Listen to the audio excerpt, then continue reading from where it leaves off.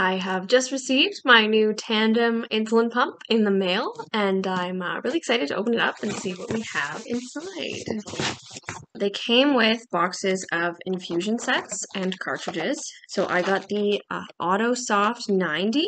I like that it's very similar to, I use Medtronic's um, MiniMed Mio infusion sets. I actually started using those when I was on Animas pumps, and then Medtronic, luckily for me, bought that design. This is the infusion set, and you can see it's it's very similar in design to Medtronics. So I'm a big fan that I don't have to get used to using a whole new infusion set. I am a little bit concerned about these cartridges. How Medtronics works, we have this. This holds insulin. This has like a needle to get uh, the insulin out of the bottle. Insulin goes in there. This goes in my pump. Tandem, there's three different things in this box, first of all. The uh, Basically, this is just to measure the insulin, it seems. And then they've packaged the needles separately. So, a lot of garbage going on here. And even more garbage. This is the cartridge. So, I have to take the insulin, put it in this, and put it from that into the cartridge.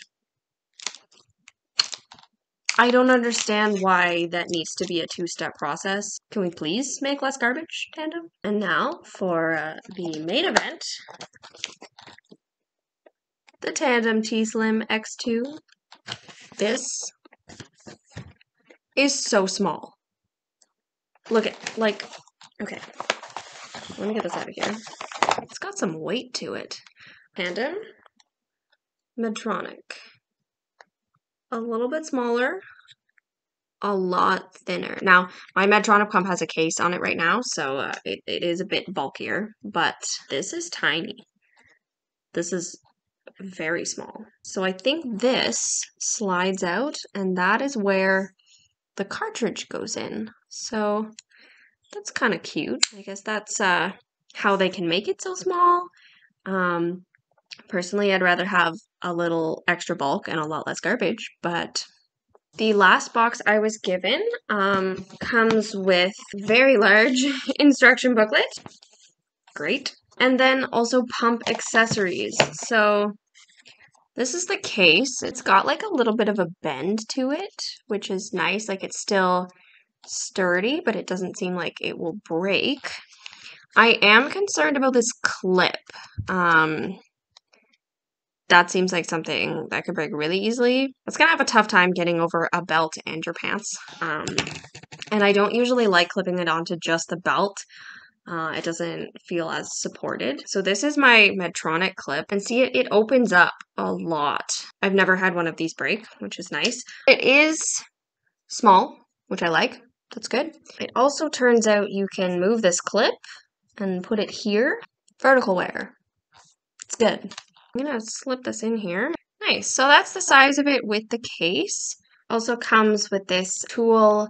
It, they called it a cartridge mechanism tool. I'm assuming it's to get the cartridge in or out. Um, and it's got like a little a little ring so you can put it on your keys if you think you're gonna lose it. Also in this bag, the charging cable. So one of the cool features about the tandem pump is that you can you recharge it rather than replacing a battery. Not sure if that's going to be for me. So I looked on some uh, online diabetes forums. People have said they charge it in their car. Um, other people said they'll charge it a little bit while they're in the shower. I'm curious though. I know like with a phone, you're supposed to let it charge all the way, not just charge it little bits at a time, which is what a lot of people said they do. Definitely questions to ask when I go in for my training.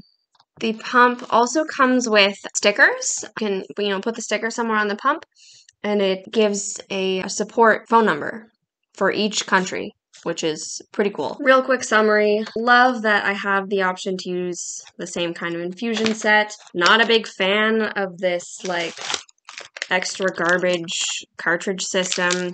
The pump size is great. I'm excited that it's a touch screen. I haven't charged it up yet because I haven't gone for my pump training yet. Really not a fan of this clip. I I just not sure how I feel about the rechargeable thing.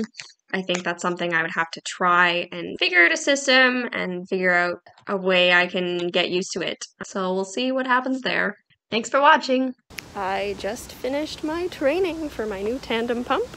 Um, feeling pretty good about it. I'm excited to start using it and uh, yeah, we'll see how it goes.